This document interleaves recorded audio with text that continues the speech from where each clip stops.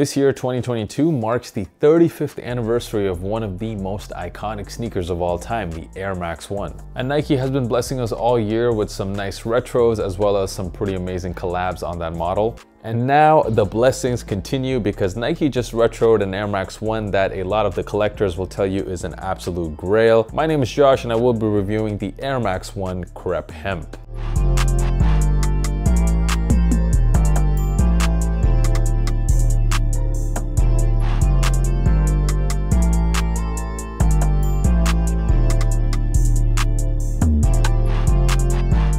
So what is good fam? If this is your first time here, make sure you hit that subscribe button and give me a follow on all my socials as well. Check out the best sneaker podcast out there as well, the Kickback Pod. All of the links are in the description. So let's get into the sneakers, the Air Max 1 Crepe Hemp. So this shoe is actually a retro, so it did release the first time in 2004, and back then it released as part of the Nike Crepe pack. Alongside the Air Max 1, we also saw an Air Max 90 Crepe as well as the Air Burst. But the Air Max 1 was definitely the standout of the pack, and now 18 years later, we finally got a retro. Even though it's not an identical one-for-one -one retro, we'll talk about that a bit later. The official colorway of this shoe is medium brown and mint foam. And the sneakers released on September the 15th for a retail price of $180 and in Europe it was 180 euros, which of course is a lot more expensive than a regular Air Max 1 which retails for around 150. It does have the word premium in the title of the shoe so that tells you a bit about what to expect from these materials. And the colorway, at least to me guys, is an absolute work of art. This is a phenomenal colorway. You get these different beautiful shades of brown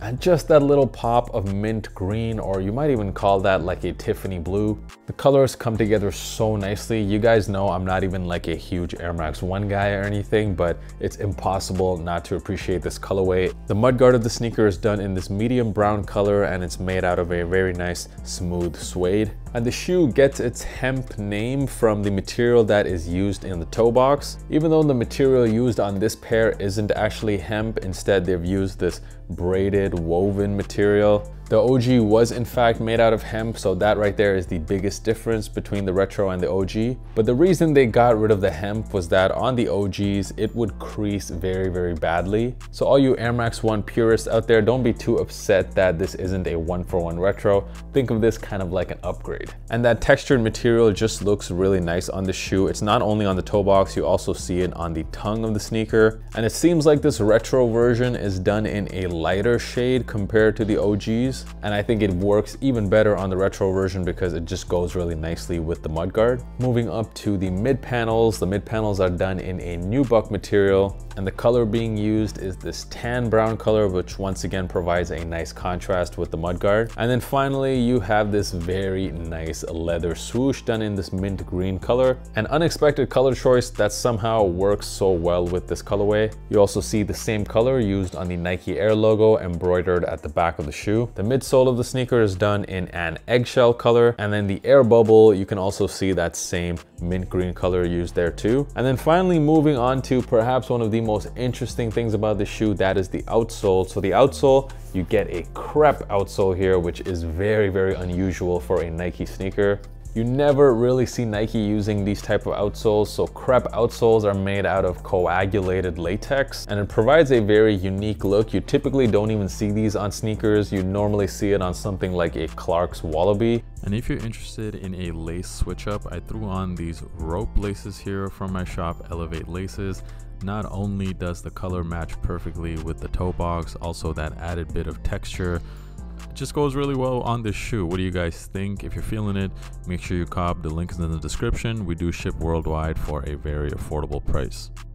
Moving on to sizing. So for sizing, I went with my true size, which I normally go with on most Air Max sneakers. That is a US 11. And I'm happy to say that it does fit me very well. There seems to be a tiny bit more room in the toe box than I'm typically used to with Air Max 1s but it's definitely not noticeable enough to make me want to go down half a size, so I would recommend going with your normal Air Max 1 size. For me, that's true to size. To give you a reference point, that's the same size I wear in Nike Dunks or Jordan 1s. And quickly looking at what these are going for right now on the resale market, so pretty much only the bigger sizes have any sort of resale value on them right now. The rest of them, you can pretty much get it for retail. In fact, these are actually sitting in a lot of stores here in Europe. This is a real collector's item and also I think this colorway is just a very wearable colorway that a lot of people are gonna wanna cop. So I don't see these prices staying this low for much longer. So if you wanted to cop it, I wouldn't wait any longer. I would go ahead and cop right now. I will leave a StockX link in the description.